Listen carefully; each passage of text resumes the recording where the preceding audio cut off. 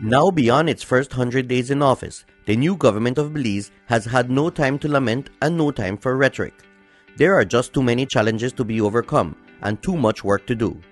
The Ministry of Agriculture, Food Security and Enterprise is perhaps one of the most critical ministries with a key role to play in rebuilding a devastated economy.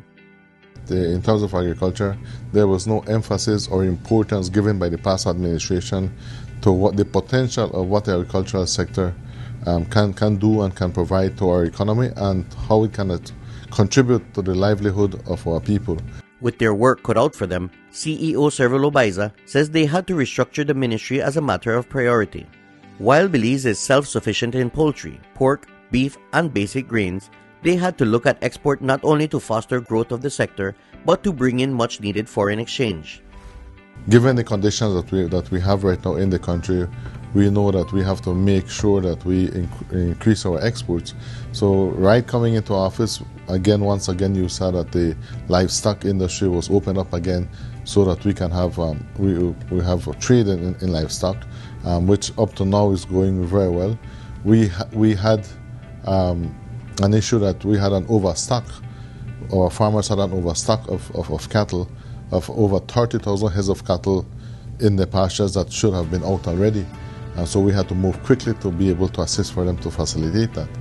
As you may know, um, also um, chicken has also gone in, in, both into the Caribbean, and there has been now some some trade with Mexico now with chicken. So again, we're trying to make sure that we assist our farmers for them to be able to take out their products. But it's more than just growing for export. One major thrust of the ministry, immediately upon taking office, is to create the opportunities and environment for local farmers and producers to provide much more of what the country consumes, with a view to import substitution. When you look at the list of things that this country imports, you would realize that there are so many things that our own farmers can do.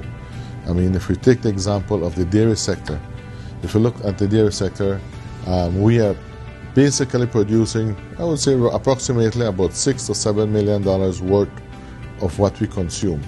And yet, when you look at what is consumed in the country, is almost $30 million worth. So you see the potential of what it is that that sector can go. And you're talking, and I'm talking of so many things. I'm talking about milk. I'm talking about cheese, different types of cheese. You're talking about ice cream, yogurt, um, butter. There's so many things that we could be doing in this country that we could be doing right here and yet we are importing so much. While the ministry recognizes and respects its obligation to the Belizean grown product, there is also an obligation to consumers, so the approach has to be a balancing act. We are in a, in a, in a unique position, I will say, that we can, this ministry right now can offer them some protection through our supplies control and um, which is the permits that allow importation, and then we can give them the support to make sure that they grow so we can sort of co- control the amount of imports that come in so that our own local industries can grow. But we have to do it in a balanced way because we have issues of quality, we have issues of price, which again we have to make sure that whatever we grow is of good quality and of and is affordable. We can't just be telling our people, well, you need to purchase these inferior goods at these higher prices. Um, and then we're going to stop stop the importation. You know, so we have to strike a balance between those two, those two things. A strategic plan is being worked out with producers in every sector of agriculture, while the ministry is also lobbying for that most critical component: financing for farmers and agriculture stakeholders. We have already had a conversation with the DFC. We are in the process of developing a memorandum of understanding with DFC.